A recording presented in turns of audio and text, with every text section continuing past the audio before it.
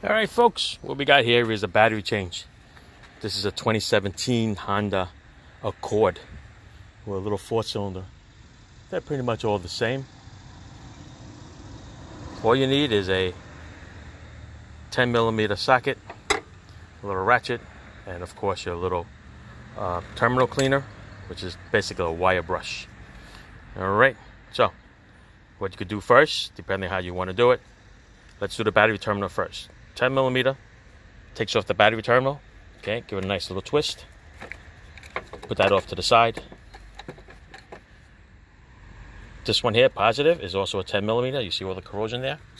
All right, so the battery's starting to leak. There you go. Take that off, put that over there. Okay, it leaks right here where the post comes in through the plastic uh, plastic body over here. Okay, that's where it leaks.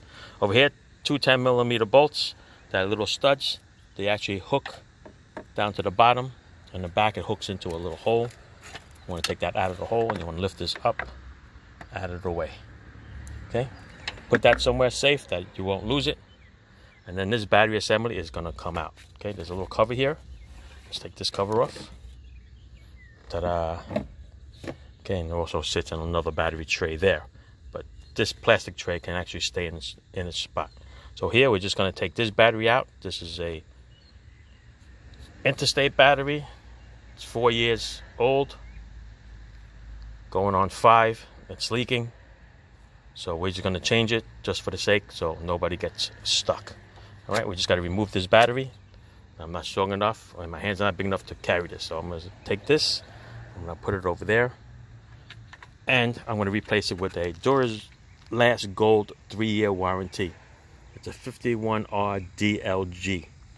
All right, and it comes with a little installation kit, which is the felt pads and a little um, petroleum jelly. All right, so I'm just gonna pull this out. I'm gonna put the new one in, and then I'm gonna continue.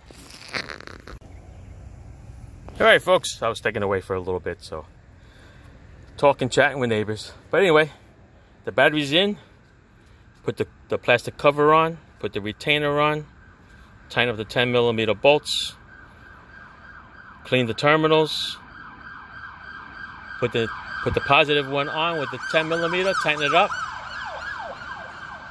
Put the negative on last. Remember, first to be removed and last to be installed. All right, and then of course AutoZone with the the felt pads come with the petroleum jelly. So put that all around just to prevent the corrosion, and you are good to go. All right. So like I said, we changed this battery because of the age, and the car is going down south. All right. Thanks for watching. Ciao.